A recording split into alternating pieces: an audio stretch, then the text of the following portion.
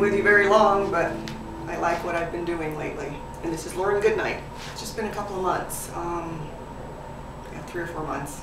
I first saw Nick over at Healing Horizons, and I'd been having trouble with my knee. And he worked on it there, and I walked out of there, and this first time I was pain-free.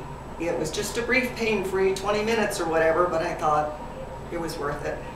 And I decided, okay, I need to find out where he is and, and come back and see him. Oh, my knee, I can actually walk pain-free these days, and he's given me some exercises for it. It's, yeah, I'm very impressed. Gotta take care of yourself for one thing, and at my age, it's, yeah, it sucks to get old. So, you work hard at what you do, and you eat right, and you just keep pushing on.